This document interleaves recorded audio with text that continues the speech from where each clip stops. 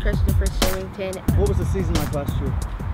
Great. I could. Uh, it was just great with uh, a bunch of friends. I was kind of shy in my first season. Thatcher Benson.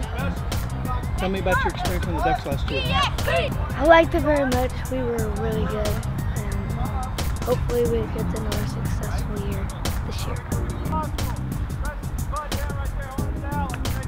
Tucker Cecil. My favorite thing about playing the sport is that you have to play it all as a team. Everyone has to do their job or else it just doesn't work.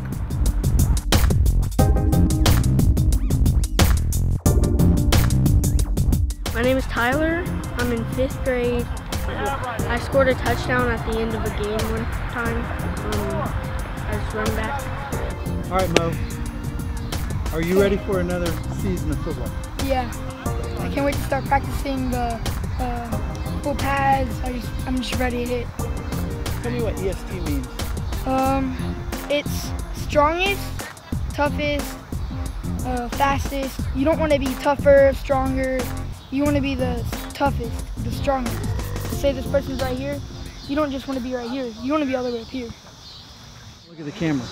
Okay? What do I say though? Huh? What do I say? Well, I'm going to ask you a question. Okay. After looking the camera. Right, there you go.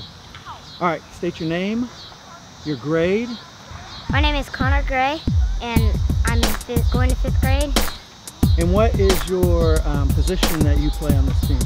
wide receiver. Why do you like to play wide receiver? Because I'm good at catching the ball. Is that it? And I like to run the ball. And score. And um and score touchdowns and break people's ankles. What do you think football teaches you in life besides just playing a game? Does it teach you anything? Gets me faster. Does it teach you anything though? Does it teach you anything about Oh, heart, up? What does it teach like you? teammates and all that. Teamwork? Teamwork. Yeah, teamwork. Teamwork. What about teamwork? What's good about teamwork that you can carry on through your life after you get done playing football? So teamwork. You should do like everywhere.